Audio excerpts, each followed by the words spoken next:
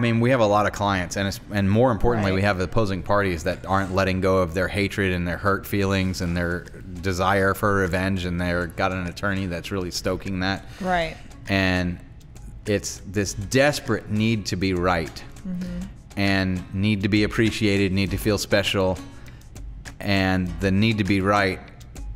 They have this argument that they're only having with themselves, mm-hmm. and they can't let it go. And they have to really understand that you can be right about the way that you feel, um, but the right thing to do also is to let it go Right. because you can either be right or, and hold on to that and let it destroy you, or you can be happy, Right. and you have to let that go in order to be happy.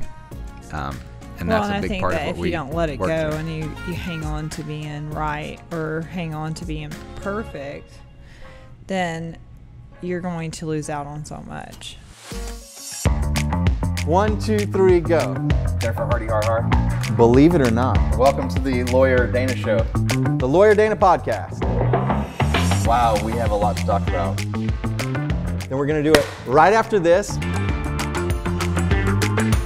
Welcome to the Lawyer Dana Podcast. So, all all right, we got some. Uh, do you remember where we were in those books?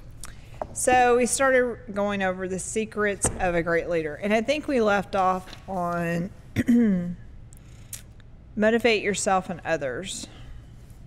Well, that's appropriate for the Yeah. Like this is the we're starting we're filming this one right after lunch and we always have this like I want to go to sleep right after we eat lunch. Yeah. And the strange thing is is like most days I don't eat lunch, but since we eat, since everybody's eating like I eat and then I get like that energy dip. It's weird because I'm the same way. Like at home when I'm working, I Yeah, I didn't think you have- ate lunch. No, I usually put Yeah. some almonds next to my desk, and then I'll eat berries. Like I'll have berry but berries Yeah. like kick my energy up. well, I learned I- raspberries. well, I learned this week that Blackberries. Well, yeah, there's probably vitamin B in that stuff. So uh, B and C. yeah, but I learned this week that you can eat too many almonds, and it can cause Really? You can like toxicity in You know your you're body. supposed to eat blanched almonds with almonds with the skin removed because the skin is um, something about the skin. I don't remember. what it Really? is, but Did yeah. not know that. I've been eating them with the skin on. Yeah, I mean I, I do too, but apparently the uh, the skin of almonds is like has some kind of toxin in it or something. I don't know. I, I don't know whether there's a toxin or something about it, but yeah, you're really well, not supposed to yeah, you're not supposed to consume more than I think I read 32 almonds in one day. 32 almonds a day.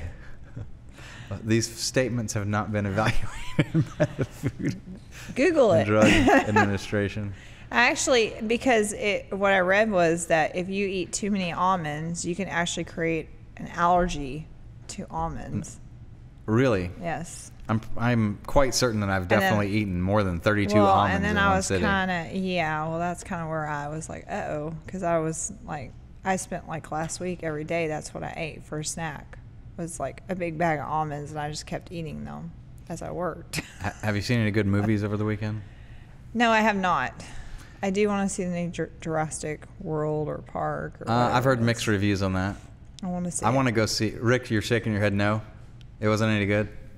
I don't know if it was any good or not because I didn't see it, but everything I've heard is bad. However, I finally saw Top Gun. Perfection at the theater. Awesome, wasn't it? Yes. Hands down, the most perfect movie. I want to see it again, and I want to see it again in D box again because after I saw it the first time, Mm-hmm. I, kind of wanted to see it in D box Yeah. with the vibrating seats and that goes back and forth. And now that I've seen it in D box, I definitely want to see it in D box. like I want to see it again. It was an adventure. It was a ride. Like you're in the plane, like when you're you're moving and it's rattling. Like it was it was it was Yeah. great. I have to give kudos to the directors and the writers, though, that they were brilliant enough to take a throwaway one line character from the first movie and put her in the second movie as Yep. the love interest. Because there's literally a reference to Penny in the first movie, and it's a throwaway sentence. Yep. And now you're like, oh, they bring her back. And they do it in a brilliant way. I think they really, really did a great job on it. And I like how they also they didn't make any particular country the enemy. They just said the enemy. And I mm-hmm. thought that was a great way to do it. Actually, what'd you think? so my best friend is a is a nut for this stuff, and he goes hands down it's Iran, and here's why. And the only country in the world that had the Tomcat is Iran. We sold some to Iran in the 80s.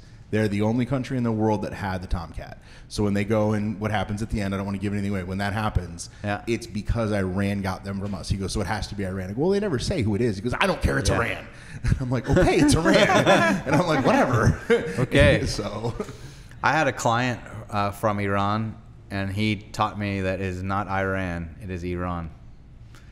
And he was very adamant about that. I bet. And- We are always adamant about where you're from and how you Yeah. pronounce it. So Yeah, and- now I watched uh, I watched Machine Gun Preacher. That's what I watched. what? Machine Gun Preacher. Yeah. it's a good movie. It's it's based off a true story. what? Yes. yes, Gerard Gerard Butler is in it. Okay, I guess I'm gonna watch Machine Gun Preacher sometime. So he's in the beginning is a heroin addict. Like he just gets out of jail. what? Heroin ad- addict. Attic. Yes, addict. like the attic in the roof of your house. Where are you from? She's from Mesquite, but they kept her in the attic. Hey, y'all.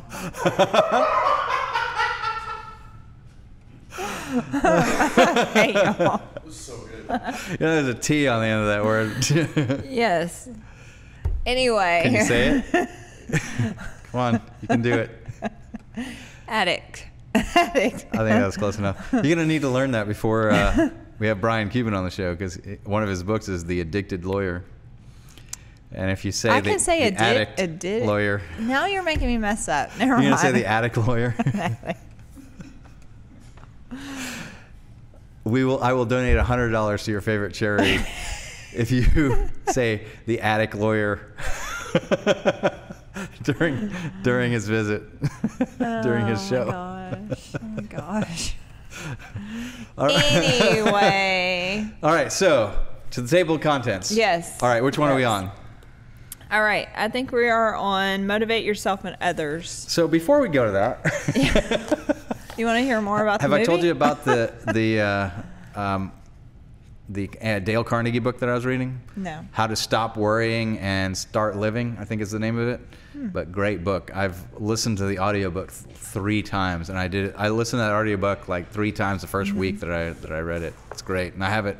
I have the actual physical book. I'm gonna read it. It's kind of funny. I started a book. It's called Dividing the Red Sea, and it's very similar What's it to about? that. Uh, well, it's about uh, it's biblical principles about worrying and having faith and trust and all that kind of stuff. Yeah, he mentions the biblical stuff. Yeah, and it and it, it brings up like the part in the Bible where uh, Moses divides the Red Sea, and how God does that to protect the Israel Israelites from the Egyptians, and like it's like if you are constantly worrying and you're constantly not trusting, you're basically not like you're sinning against God that way because we're supposed to have faith and trust and Yeah. and not worry. So if you're constantly worry worrying about things that then you're you're not doing justice by what God's trying to help you through. Yeah, you're definitely not aligned in faith, and Right. um, But then it also talked about how like some of us that's just what we are. We like some people that's that's it doesn't I think it's a bad habit. Yeah. I, I don't think it's something that we should be doing. Mm-hmm. And I always find that if you're worrying, it's you're not growing to the level of wisdom and and proper thought. I would say that you can be, because anytime that I find that I'm worrying about something, you you you really should put that into proper context about what you're doing and identify the things that are worrying you. And this is actually mentioned in the book. Um, and you identify the things that are worrying you, and you can even write them down. And he, one of the things that gave the author the realization about what to do with it was he did that. He actually wrote down all the things, and he looked back at that list at a later time, and it turned out none of those things were things that happened, and he didn't need to be worrying about them at all. And um, they're all things that you get past, and it's a very, very healthy approach. And I highly recommend that book, like multiple reads on that book. And the interesting thing that uh, right at the beginning was I thought that Dale Car- Carnegie was Ar- Andrew Carnegie's son, but he's not. he was a professor, and actually at one point he he he was a teacher and taught classes at the YMCA, um, and spelt his name differently. And then once he went to, um, it was he I forget the details about it, but he went to a, a particular place that he gave a lecture at, and then changed his name to the the same spelling as Andrew Carnegie. Uh, I think it was like after he went to Carnegie Hall or something like that. Oh wow. Um, but I always thought that he was his son, but he's not related at all. He was just a, a wise author, and uh, found that. Hmm. well, I think everybody can recognize that the more you worry, the less happy you are, absolutely. and that it takes away your happiness because you're always worried Absolutely. and you're always stressed and you're always And there's no point in it. There's no benefit right, in it. Right. and you're you're ruining the present based on anxiety about the future and there's no there's no reason to do it Mm-hmm.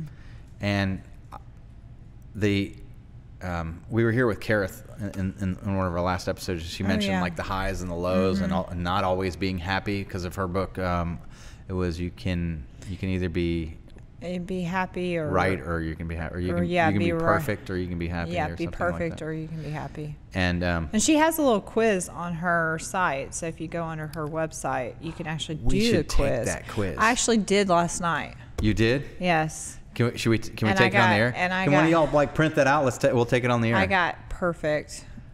you got perfect instead of happy, I got perfectionist. so that doesn't surprise me. Well, and it's weird because I sit there and I think to myself, work wise, I am like that. I'm a very big perfectionist. Like, I want things right, I Yeah. want things done good. Yeah. Um, and it's pretty much home life too. But when it comes to like, does my house have to be perfect or like I can let certain things go. Like there's certain things in my life I feel like I can I don't have to have it all perfect. So um, there was parts of the quiz where I did did say like, yeah, that's fine. That doesn't bother me. But there it I recognize like the questions that were more work related. Per, I want perfection. Like it's important to me that people see s- that I seeing how you work for the company that I own, do a good job. that makes me happy. Well, uh, it, it and I mean that's good. Probably why I hired you, especially since it's since good, but it also. I mean you're you're pretty much the the one of the linchpins of quality control at the firm.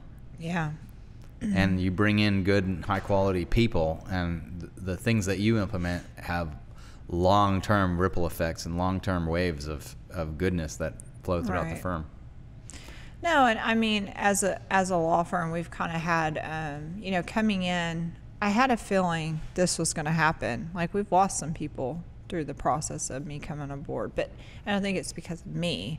I, I think it's because that's just kind of how it happens. You know, Yeah. when new management comes in, you implement policies or you put more more um, emphasis on policies, Mm-hmm. then people decide whether or not they want to stick around or they want to go do something different. yeah Oh, Okay. Oh yeah. all right Here, why don't I do you? oh here we go Because I've already done it. don't tell your husband you s- asked me that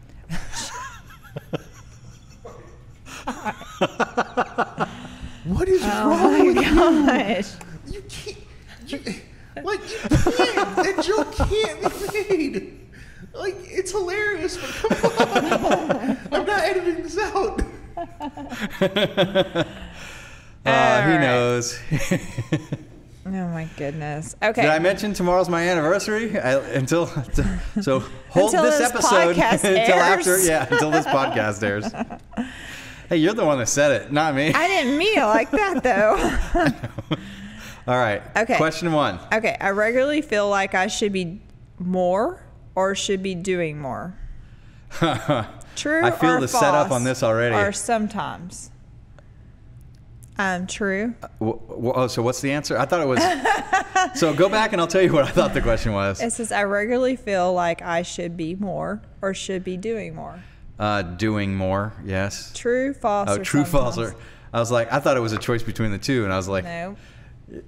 I didn't even realize like some people don't want to be more or do more. Um, so what is it? What's it? True, false, or what? Sometimes. True. I could have answered. I see where you. we're going with this. I get stressed. when 50 s- bucks if this is not going towards perfectionist. I guarantee you this is going to. I get is there not an option for happy perfectionist? I get stressed when something isn't done right. True. Do you really need me to be here for this? Can I? Everybody in this room can answer Just this let for me. Jen do it, and, and you can. and So, when she true. answers, you gotta say yes or no. That's what I would do. I am my own worst critic. Again, like, True. yes, they're all true. I consider something perfect when I have multiple people's approval. I don't need that. Yeah. See, I was the same way. So true. Oh God, then we're probably. So this is probably the other. side. You, you think you're supposed to do everything true, and then you get to that, and then you're like, oh no, it's not all true. No, no, there's some that's not true. So are you true? Uh, we know you're not true. So are you False. false? Okay. I don't know. That maybe it's sometimes. Well, I I, mean, already pushed it's false. yeah. Okay, false is fine. I overthink simple tasks. Oh, true. No. True. True. True. yes. that is a true. Even when I saw that, I was like, true for you, not for me. Me, I don't, I was I like, don't always false. over overthink. Yes, you do. the audience is throwing fruit at me, throwing plastic empty bottles. All right, so I get easily distracted the more True. difficult things. it is hard for me to accept compliments. true, True. I hate the idea of screwing things up. true. I will reduce something. Does she give you like a score of how far you oh, are? Oh, she'll- like, I think I'm having the perfect score on perfectionist.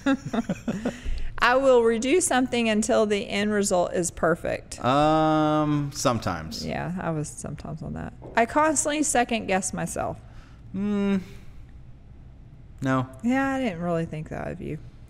When I've made a mistake, I think about it for some time afterward. Sometimes. Yeah. No. True.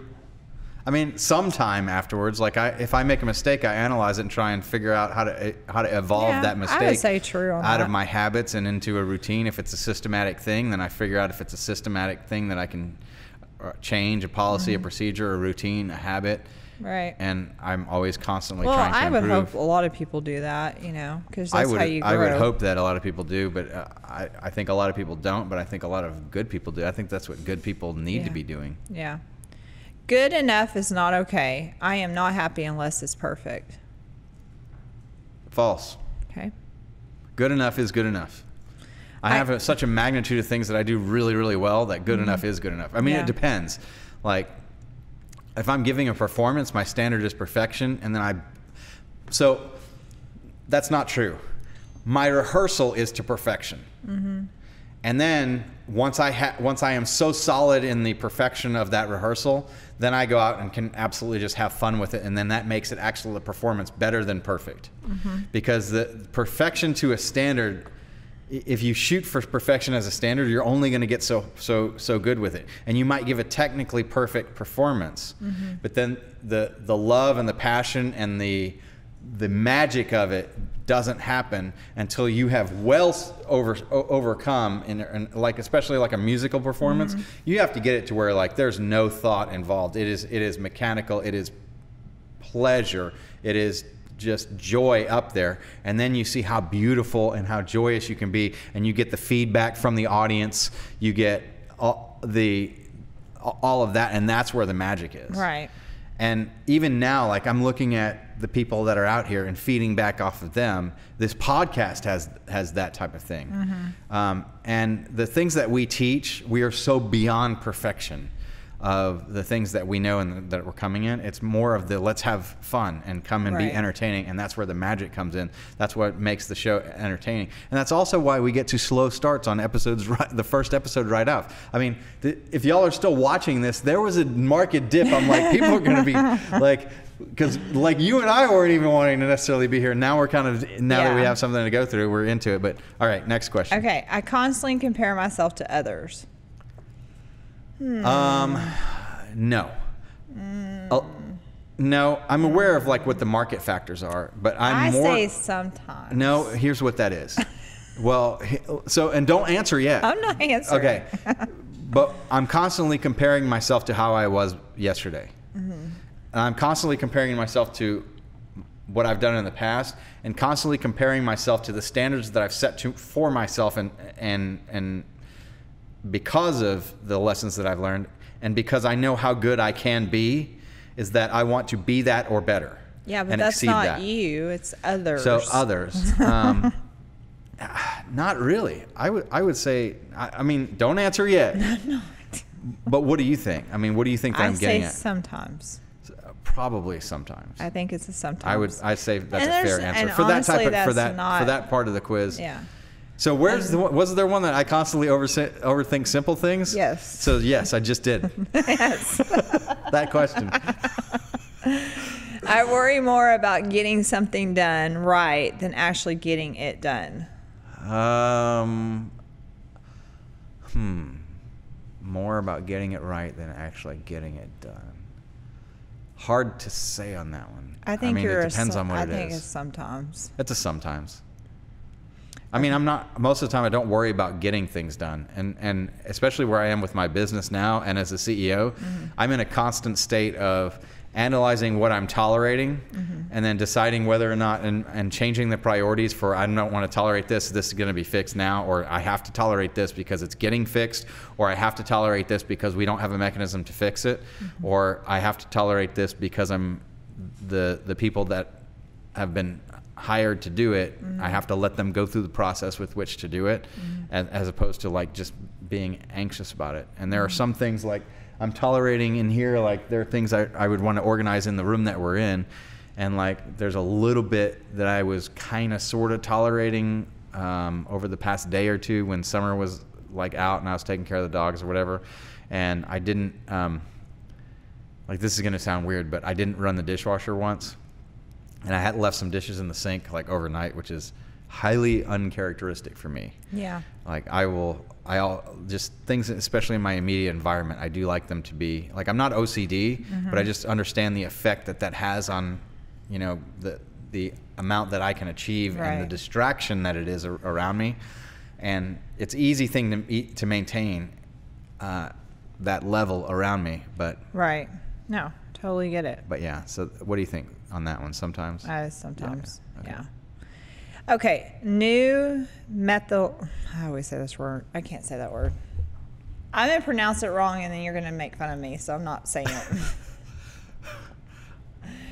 Something about D's and G's together. Like I don't know. I have problems. I want to guess is like methodology or something. Thank like you. Thank you. That's it. You got it. that. I just had a feeling that was the word. Come on, try it. You can do it. Come on, Mesquite. Thank you. New method methodologies Methodologies. really cause me stress until I figure them out. No. False. Okay. I'm not an idiot. I promise. I feel like one She right just now. she had a mom that y- your mom just didn't correct no, you on. it's not just that. Like I don't know. There's certain letters when they come together. Have like, you I have a really have you hard had time. that could be a hearing thing. It, Do you have be. a do you have a long lost twin that you lost a, a, after about two or three years that you don't remember? So have you you know what twin talk is? no? So twins develop their own language between the two of them. And uh, when I was in high school, my very first girlfriend, who she was just a sweetheart. Um, it, it, uh, of everybody that I've ever dated, that there were there were two worth marrying. One is my wife, Mm-hmm. and two was my very first girlfriend. And I blew that like an idiot. Like, Yeah. I was just I wasn't, and we wouldn't have worked out until I was like probably 35 Yeah. uh, which is when Summer and I happened to get married. Like Right. I was definitely not in any kind of framework to get married until I was 35. But but she was a twin, Mm-hmm. and they had this accent that was like not any normal person's accent. Mm-hmm. And they had some kind of hearing thing, but it, I, it- but it was a combination of a hearing thing and twin talk. Huh. Um, and that Well, last time I It looked, could be that. I was not a twin.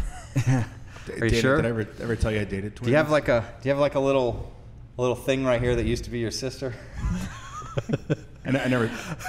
I'm not like We just got canceled. I'm not like my big fat Greek wedding where she tells him her twin was in her spine. What? They- did you not see that? Yeah, I that? think that's where I got that joke from. She's like, no, I'm not. I never, I never told you I dated twins. No. They always ask how I can tell them apart. Both of them? Well, so I dated a twin, and my friend was like, "How do you tell them apart?" And I'm like, "Well, my girlfriend has pink nail polish, and um, Rob has a penis."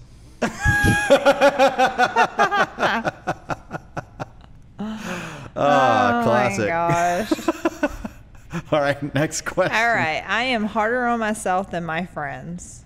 Yes. Okay. Um, it's not progress un- unless it's way better than what I did before. No. False. Yeah, I mean, small progress is progress. I prefer to have others' approval before I consider something acceptable. No. Okay. It's okay for other people to make mistakes, but I should do better. Yes. I put a lot of pressure on myself to be perfect. Um, I mean, I'll go with sometimes. I don't know that it's it's not really pressure. Uh, I just have very very high standards, and but at this point in my life, it's easy for me to make those because I'm I'm just very well trained. And when you've disciplined yourself and trained yourself, it's just easy to do it. It's actually more difficult for me to do things wrong than it is for me to do things well. I'm putting my work email address in here so we can see your results. Let's Is it going to tell you immediately? So that was the test. Uh-huh. Why do I feel? I, I feel naked. I'm not obviously. That's where everybody like everybody listening on the podcast like looks. have you have you put it down? and You're just listening to this one. Yeah. No, I'm still clothed. All right. Results. Results. Dun, Okay, dun. so perfection right. is your middle name. Based on your answers, here's what you are on the perfect happy scale and I'm- what that makes that means. that means that means my initials are DPP.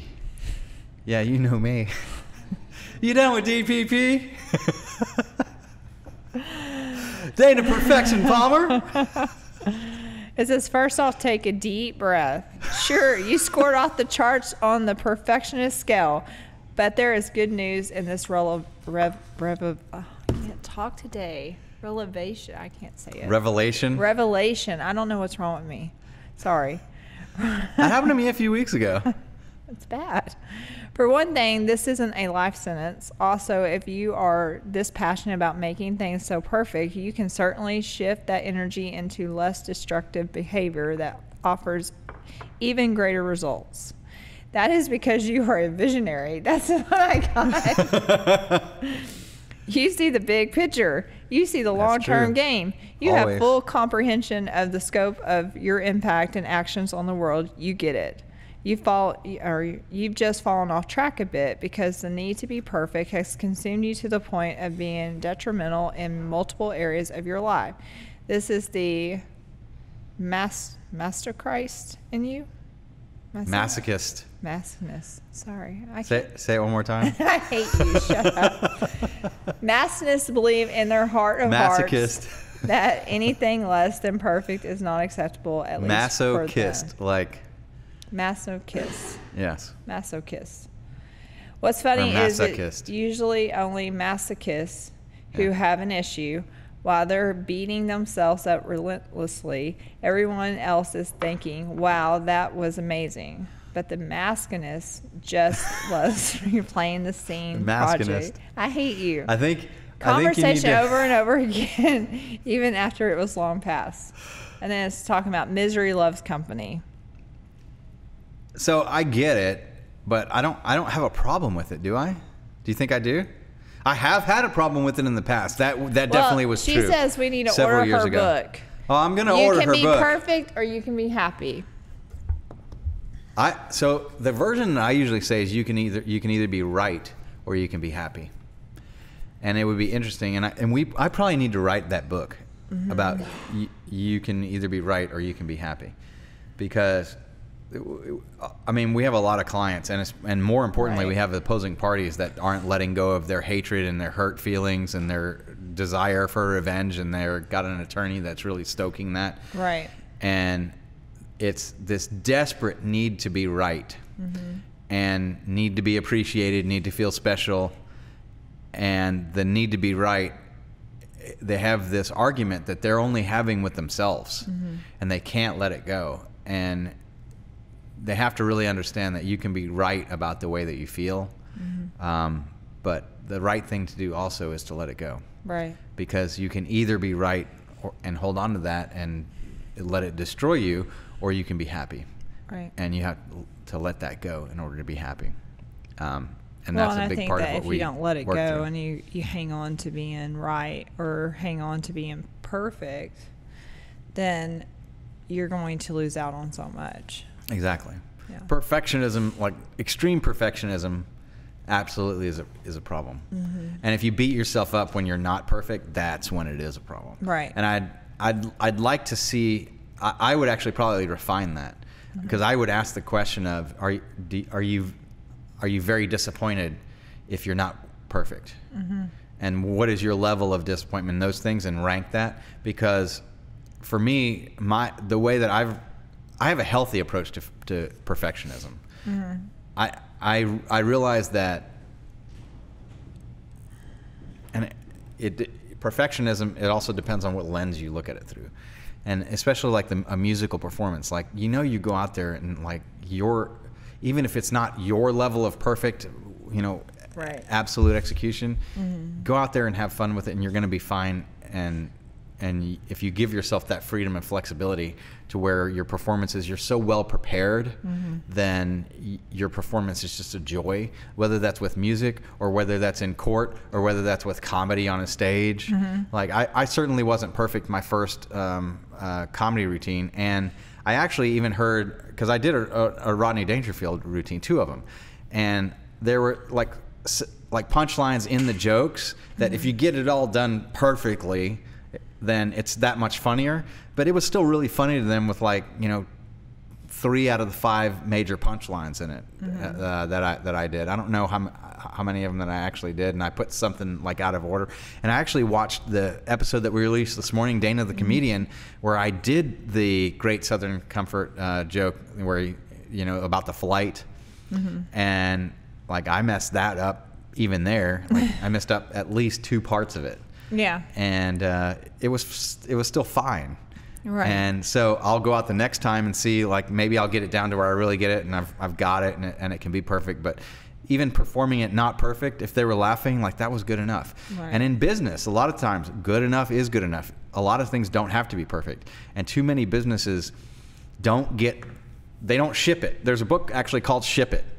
And and that's what we're doing in this podcast. I mean, like I haven't beat ourselves up about it. It, it bothers me some some of the audio problems that we had in some of the episodes. Um, like we had we had that buzz that we had for uh, a couple of the episodes, and then it was really echoey, and we didn't have the good mics. And I was like, no, let's just work and improve. Right. And eventually we're going to get there, and we're going to get there so early on because of those philosophies. Mostly, it's the more important thing is having momentum and keeping the momentum going making sure that no matter what like we're this is just the we're scratching the surface at best. Like this is the very beginning of the podcast. Right. and each time we get better and better and better. And and we- we've realized having guests is um, much more easy for us to riff back and forth. And one of the things i was worried about i was like wow we in our early episodes we talked about like how i created soft divorce and that and, and i'm going what happens if people don't watch those episodes? Like and then we don't get that out and then that wasn't that good of a quality of an episode. Even daniel on one of them he's like you know because of the audio i didn't really watch it, the rest of it. And like it didn't it didn't bother me because i know i go that's where we are. Right. and and if anything that that's perfect it's that it's perfect that everything all of this is okay and that we're moving forward and getting better and better. Right. and um, No, Yeah. I agree with you 100%. and that's where we do that whole you know going out and ending the episode on a low note and i think we've done that so oh, gosh.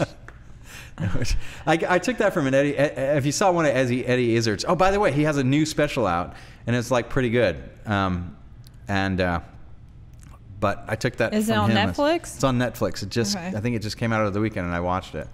Um, and I, he may have another one, but I, I was a big Eddie Izzard fan. His uh, Dress to Kill, I think, was his best work that he ever did, and it is just absolutely hilarious. It is the funniest. I mean, it, it is great. and uh, I don't think he's ever going to be my favorite comedian. So he'll live a long, nice long time. Yeah. But because all my favorite comedians die as soon as like. If if if you if I- Let's just not speak it out in the universe. yeah. Ralphie May. Yeah, I know. Okay, yeah. No, but, well, his father just passed away, and We it's, don't want it's any mentioned more in the show, so maybe that'll do die. it. So yeah, but been sad. if you are a comedian and you want to come on the show, we'd love to have you. And in the meantime, like, subscribe. Um, Comment. Yes, like Tell us who your page. co- favorite comedian is, because actually, for some reason, it's we're finding that it's easy to get comedians to come on the show. And I think we're going to have a bunch of comedians that are on this podcast. So Yep. comment and tell us who your favorite comedians and are. we like to laugh. So and we do like to laugh. And we if want, you like to laugh, watch us because, of course, like I do stupid stuff and it's only it's only pr- pronouncing words. I can hate y'all. And on that note, give us a like and love us and love the podcast. Dana Subscribe Palmer and lawyer Dana and Jennifer Hardy Har Har, and we'll see you in the next episode. Bye. Bye. The Lawyer Dana Podcast.